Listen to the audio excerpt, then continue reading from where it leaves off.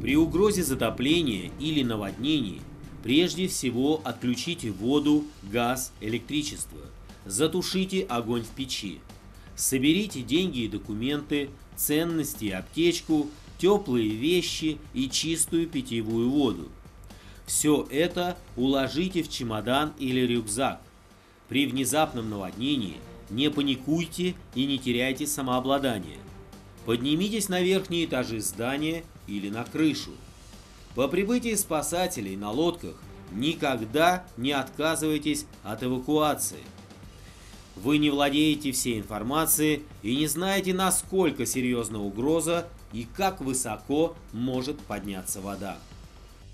Запомните, самостоятельно из затопленного района можно выбираться лишь в совершенно безвыходных ситуациях, когда надежды на спасателей нет или вы точно знаете, что помощь прибыть к вам не успеет.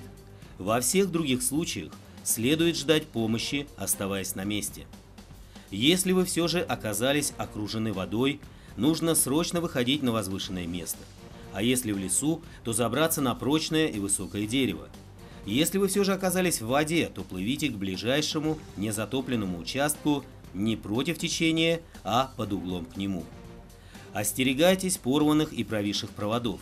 Очень часто люди во время паводков и наводнений гибнут от электричества, а не от воды.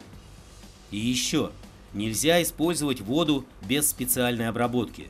Лучше всего заранее сделать ее запас и пользоваться им. После спада воды в любые помещения следует заходить крайне осторожно. Подмоченные строительные конструкции в любой момент могут рухнуть.